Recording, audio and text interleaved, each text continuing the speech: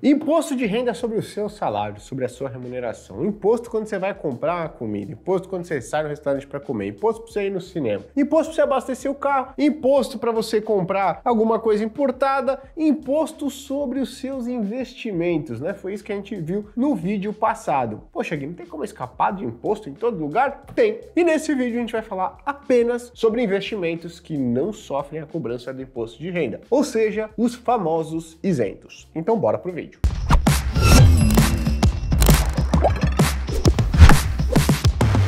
Antes de começar, vou pedir que você curta este conteúdo, se inscreva no nosso canal para estar sempre antenado com as novas informações que a gente vai passando aqui para você e, obviamente, compartilhe com quem também tem interesse em aprender mais sobre finanças, investimentos, economia e por aí vai. Primeiro, a gente vai começar com ela, a rainha do Brasil, ela a famosa renda fixa. Quais são os ativos de renda fixa que não sofrem a cobrança do imposto de renda? A gente vai começar na classe de ativos preferida dos investidores pessoas físicas na renda fixa, que são os títulos títulos bancários, ou seja, títulos emitidos por instituições financeiras. Que títulos são esses? As famosas LCIs e LCAs, tá certo? Nossa, que letra feia. O que, que significa isso daqui? Letra de crédito imobiliária e a LCA, letra de crédito do setor do agronegócio. O que, que significa basicamente? Significa que a instituição financeira, né, o banco, tá lá, né? E alguém chega aqui e fala: olha, eu preciso de uma grana, banco, para investir aqui no setor do agronegócio, para comprar terras, para trocar meu maquinário e tudo mais, né? Poxa, o banco fala: pois não, tem dinheiro aí, ó, quer comprar uma LCA? Pô, se você der essa LCA aqui, você vai ter um rendimento que vai ser isento do imposto de renda. Eu vou pegar essa grana e vou financiar o setor do agronegócio no Brasil. Quer? Eu falo: quero, beleza. Todo o lucro que eu obter com essa LCA, ele é isento do imposto de renda. Assim como no setor imobiliário. Pode ser que essa empresa aqui, né, ela não pegue esse dinheiro para investir no setor do agronegócio, mas que pegue essa grana para comprar um terreno, para construir um novo prédio, um shopping, algo no setor imobiliário. E aí ela emite, ao invés de uma LCA, uma LCI. Mesma coisa, rentabilidade isenta do imposto de renda. Alguém, você pode me explicar então a diferença entre uma LCI, uma LCA e um CDB, que paga a mesma taxa de retorno? Posso? Vamos lá fazer uma simulação então, né? Você, uma pessoa bem instruída, acabou de assistir esse vídeo aqui, olha lá numa plataforma de investimentos e tem duas opções para você colocar o seu dinheiro. Um CDB de um banco X que paga 15% ao ano de rentabilidade. E você também encontra na mesma plataforma uma LCI, uma letra de crédito do setor imobiliário, do banco X também, pagando 15% ao ano de rentabilidade. Você fala, show de bola. E agora, qual que eu coloco? Mesma coisa? Em ambos os casos? Você vai lá e fala, não, né? Vou colocar na LCI que tem isenção do imposto de renda. Outra pessoa não conhece, acha que é tudo a mesma coisa e coloca 100 reais aqui. Você foi e colocou 100 reais nessa LCI. Qual que é a diferença? Em três anos, todo o período aqui, ó, o CDB e a LCI vão tendo a mesma rentabilidade. Os 100 reais vão sendo corrigidos exatamente pelo mesmo valor até a data de vencimento, que é incluindo aqui no nosso exemplo, três anos. Chegou depois de três anos, quanto que está valendo?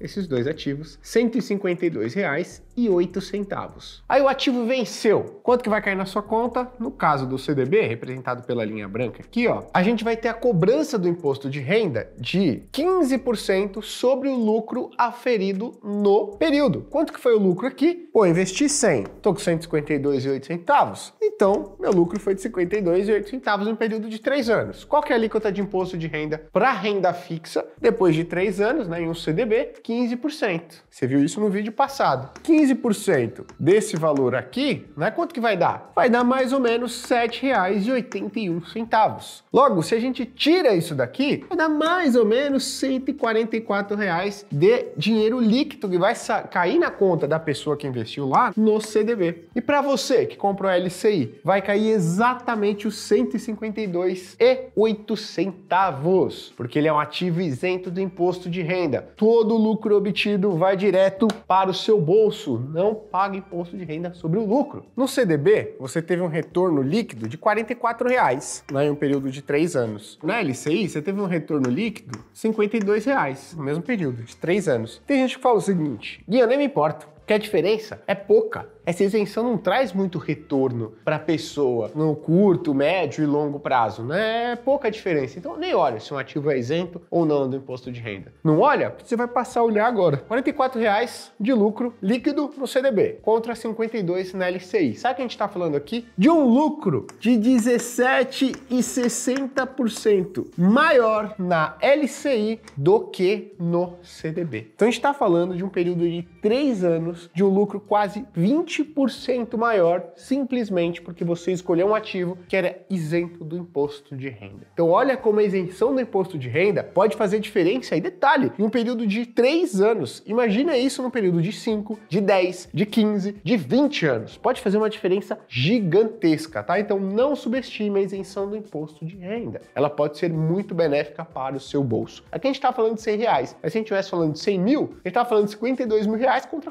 44 mil, pô, já é 8 mil reais de diferença em um período de três anos, de novo. É um período muito curto. Então, só para mostrar para vocês aqui a diferença de um ativo que é tributado e de um ativo que é isento do imposto de renda. Tá? Então, essa é a LCI e a LCA. Segundo, Gui, quais outros investimentos aí que são isentos do imposto de renda? Aqui a gente fala né, de uma categoria um pouquinho mais arriscada, porque ativos bancários, como no caso da LCI e da LCA, tem a proteção do FGC que é o Fundo Garantidor de Crédito, uma instituição civil sem fins lucrativos. Então, poxa, coloquei dinheiro numa LCI, coloquei dinheiro numa LCA, o banco foi lá, quebrou. O que acontece? O FGC devolve o dinheiro, limitado até 250 mil reais por CPF, mas isso já protege mais de 99% dos investidores aqui no Brasil. Mas aqui, a gente vai falar de um investimento agora, de um ativo que é de renda fixa, que é crédito privado, mas que tem um perfil um pouquinho mais arriscado porque ele não tem proteção do FGC. O que, que a gente está falando? Debêntures. Mas a gente está falando de qualquer debênture? Não, a gente está falando de debêntures de infraestrutura. Ou você pode ver por aí também as pessoas chamando de debênture isenta. Uma debênture é um título de dívida emitido por uma empresa quando ela quer captar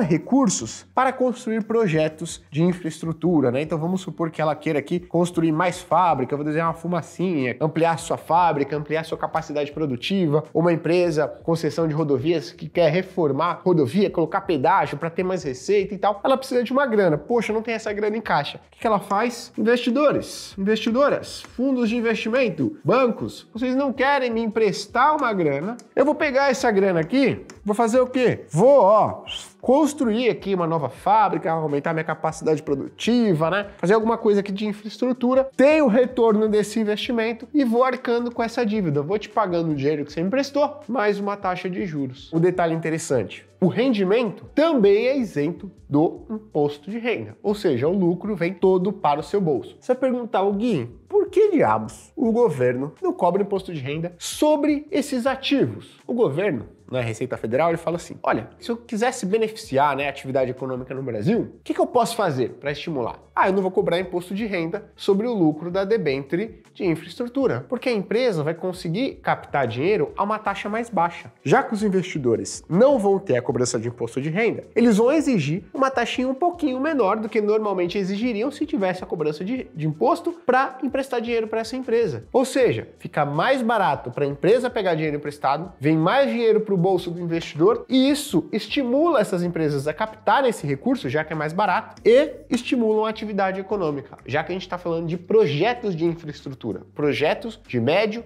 e longo prazo, que tendem a estimular bastante a atividade econômica no Brasil. Por isso que debêntures de infraestrutura, LCI e LCA, né, que são dois setores que também ajudam muito a atividade econômica no Brasil, setor da agricultura, setor imobiliário, eles têm o seu rendimento isento do imposto de renda. Não é porque o governo é bonzinho, não é porque a receita é boazinha, não. É porque ela quer estimular a atividade econômica através do benefício para esses ativos, tá bom? Então, quando você investe em uma debênture de infraestrutura, todo o seu rendimento é isento do imposto de renda. Gui, recebi juros no meio do caminho. Isento do imposto de renda. Gui, investi em um fundo de debênture de infraestrutura. Isento do imposto de renda. Pô, Gui, recebi juros, recebi dividendo de um fundo de debênture de infraestrutura. Isento do imposto de renda. Todo rendimento que você obtém através de veículos ou das próprias debêntures de infraestrutura são isentos do imposto de renda. E detalhe, você não precisa investir direto em debêntures de infraestrutura para aproveitar esse benefício. Você pode investir através dos fundos de debênture listados. O que, que, é isso? São fundos que só compram debêntures de infraestrutura que são listados em bolsa. A gente tem, por exemplo, o Cadif 11, a gente tem o IFRA 11, a gente tem aqui também o Juro 11.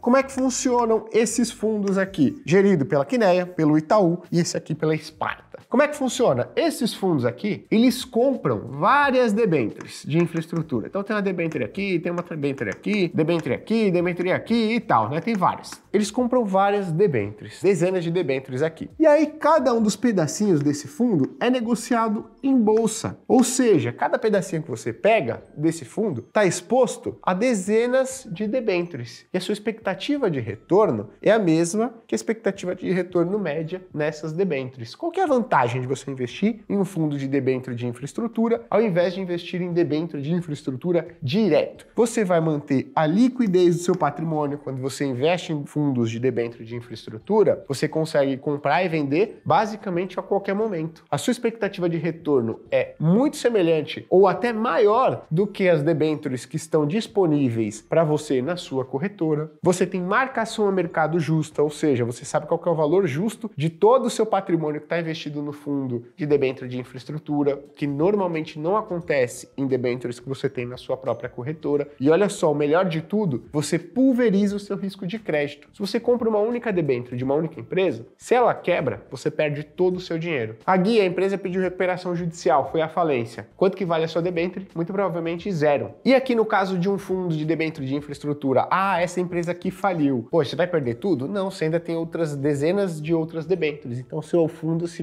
desvalorizaria apenas um pouco, tá? Então tem essas vantagens aqui de se investir em fundos de debênture de infraestrutura. E detalhe, mantém o benefício tributário tanto para valorização, que é o chamado ganho de capital, quanto para o pagamento de dividendos, juros, né, que vai caindo na sua conta ali periodicamente, tá bom? Depois das debêntures de infraestrutura, a gente vai falar dos CRIs e CRAS. E detalhe, né? A gente passou aqui para um nível de risco um pouquinho maior, tá? E aí eu vou te explicar o porquê. A gente tinha lá os ativos bancários, LCI e LCA. De crédito privado, eles são os que têm o menor risco. Primeiro que a gente está falando num setor estruturalmente resiliente no mercado brasileiro, bancos. Segundo que a gente está falando de um setor né, de papéis que tem proteção do FGC, o Fundo Garantidor de Crédito. Então, está no setor mais resiliente do país, um dos mais lucrativos, e tem a proteção do FGC. Aumentando um pouquinho o risco. Debênture é uma empresa, não tem proteção do FGC e é uma empresa que não atua no segmento de intermediação financeira, não é um banco. Então já são setores que provavelmente têm um risco um pouco maior do que o setor financeiro quando o assunto é Brasil. E aqui a gente aumenta um pouquinho mais o risco ainda, porque a gente está falando de ativos que são securitizados. Como é que funcionam CRIs e CRAS? Certificado de recebíveis do setor imobiliário,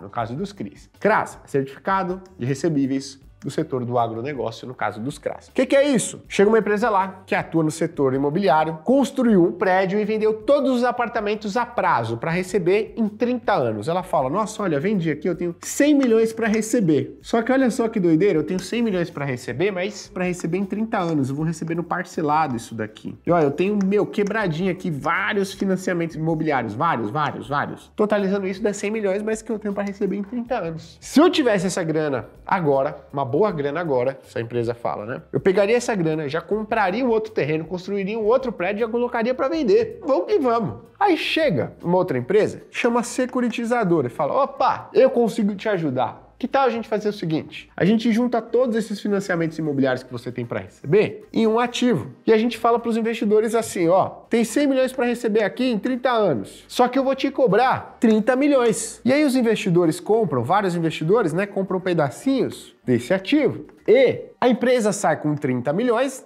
e os investidores vão recebendo esses 100 milhões ao longo dos próximos 30 anos. A empresa fala: show de bola, vambora. Securitizadora pega, coloca isso num ativo, que é o famoso CRI, vende os pedacinhos para quem? Para os investidores, pessoas físicas, fundos de investimento, bancos e tudo mais. Eles mandam o dinheiro para cá, esse dinheiro vai para essa empresa aqui. Conforme as pessoas vão pagando seus financiamento, né, o dinheiro vai voltando para os investidores. É basicamente isso. Qual que é o problema? Qual que é a chance de você conseguir analisar a capacidade de pagamento desses financiamentos imobiliários de todas as pessoas que adquiriram esse apartamento, essa casa, esse imóvel? É muito difícil, é muito pulverizado. Então, CRIs e CRAS esses ativos eles têm um risco inerentemente mais alto do que as debêntures, que têm um risco na média maior do que os ativos bancários. Então, na média, obviamente que vão ter crise CRAs muito sólidos que são melhores, né, e têm um risco menor do que algumas debêntures, óbvio. Mas na média, risco de crise e CRAs são maiores do que das debêntures, que são na média maior do que as LCIs e LCAs. Ponto final. Vale a pena eu comprar CRI e CRA? Quando você compra CRI e CRA, você tem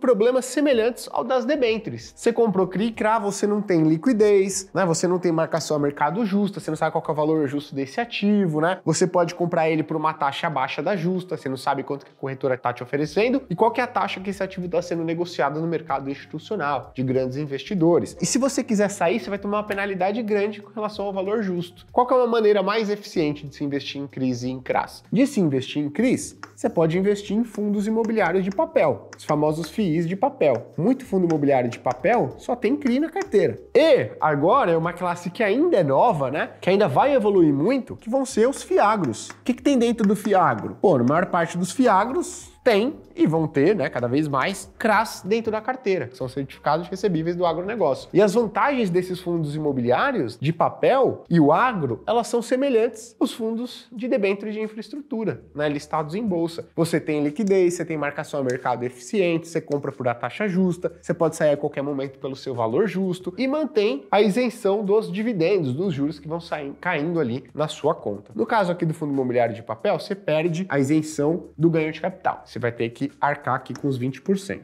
tá bom? Mas os dividendos, eles continuam sendo isentos. Isso é importante ressaltar. Se eu investir em CRI, através de fundo imobiliário de papel, vou pagar imposto de renda sobre o ganho de capital, de valorização. Mesma coisa o FIAGRO. Dos dividendos você não vai pagar, mas estou só dando uma outra alternativa de se investir em CRI e CRA diretamente, que são ativos isentos do imposto. Um outro ativo que pode te pagar aqui, né? Rendimentos isentos são as ações. Poxa, Gui, mas ações não têm imposto de renda? É, quando você fala ali, né, que você tem ganho de capital, ou seja, valorização em ações, e as vendas no mês que você faz de ações, não o lucro, as vendas ultrapassam 20 mil reais, aí de fato, o lucro que você obteve, você tem que pagar imposto de renda. Mas você tem a possibilidade de ter ganho com ações e que esse ganho de capital, né, valorização, seja isento do imposto de renda. Não paga o imposto de renda por conta dos lucros obtidos aqui. Mas além disso, você tem o pagamento de dividendos, que ele é isento do imposto de renda. O que, que é isso? As empresas elas vão apresentando, ou melhor, né,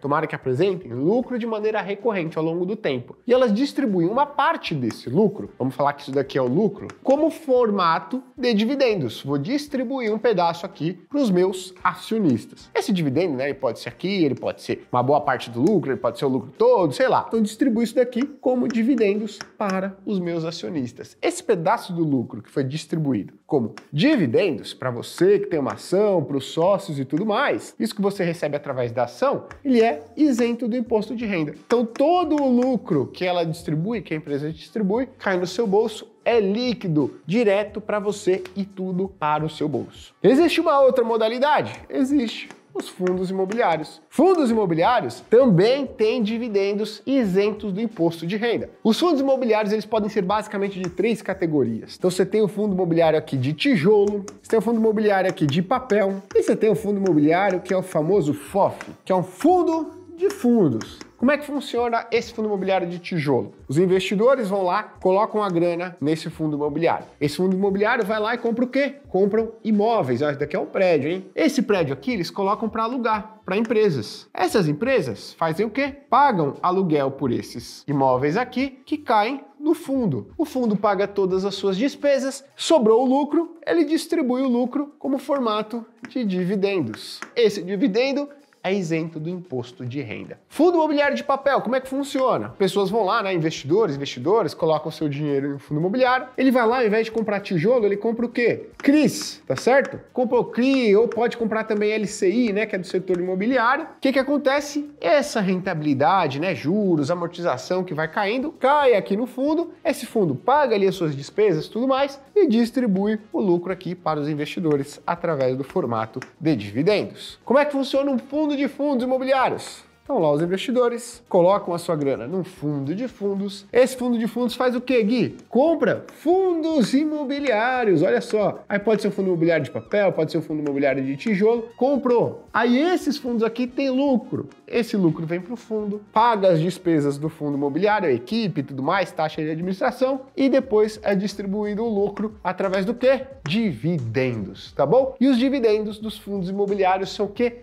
Isentos do imposto de renda. Se eu comprei aqui um fundo imobiliário a 100 e eu vendi ele a 100, paga imposto de renda? Não, imposto de renda é só sobre o lucro. E detalhe, fundo imobiliário, grande maioria que não está em situação crítica, né, paga dividendo todos os meses, beleza? Ou seja, distribui uma boa parte do lucro, a maior parte do lucro, todos os meses como formato de dividendo. Eu vou colocar aqui na mesma categoria dos fundos imobiliários os FIAGROS, né, que são fundos imobiliários, que esquisito esse nome, do agronegócio, né? Mas eles ainda são uma classe de investimento que está engatinhando, né, que nasceu há pouco tempo e que ainda não tem um histórico muito grande para a gente analisar se é uma grande oportunidade ou não. Sexta opção de investimento isento de imposto de renda, qual que é? É a poupança. Poupança, o rendimento da poupança é isento do imposto de renda. Aê, Gui, vou investir? Lógico que não. Meio por cento ao mês, meu amigo, é lógico que é isento de imposto de renda, mas é ruim demais, tá? Só coloquei aqui para, poxa, mexer um pouco com a sua cabeça. Obviamente, né, quando você olha aí nos últimos 12 meses, 24 meses, poupança ela até foi